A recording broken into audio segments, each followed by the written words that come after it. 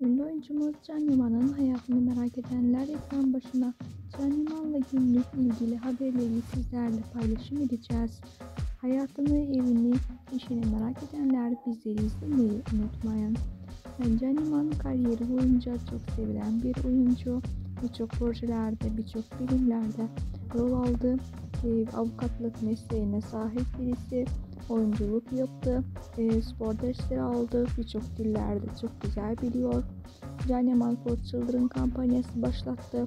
Bu kampanyayla ihtiyaç olanlara yardım ediyor. İtalya'da ilk kez olarak İspanyolca konuştuğu dizi olan Viola dizisine çekildi.